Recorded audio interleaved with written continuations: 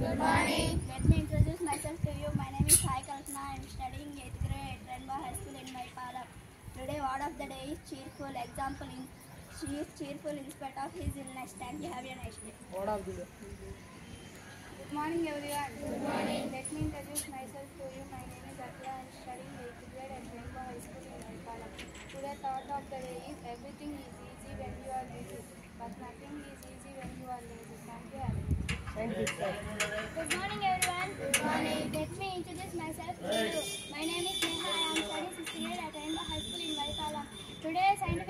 The strongest muscle in the body is the tongue. Thank you. Have a nice day. Candice.